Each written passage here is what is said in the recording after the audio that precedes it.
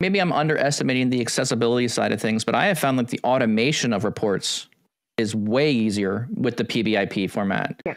So maybe that's where I'm. Maybe that's why I'm saying if I maybe I'm downplaying a little bit of the accessibility side of things too much, and I'm focusing because I we now have a project we just did with a company that was we want to automate reports, and we basically defined a grammar language around hey this is what a report should look like. I want to put it here, so we could define general things, and then we made a scripts that would run through and just build 30, 40 pages of report like.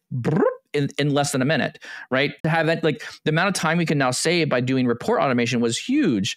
So I feel like from a from a developer standpoint, when I'm looking at a report and trying to pull apart the pieces of report, and now even talking to like the APIs in Fabric, I can say go get the report API, bring out that PBIP formatted object, much easier to work with from a developer standpoint. Like we can start really stitching things together here in a very unique way uh, and building something for reasonably low cost.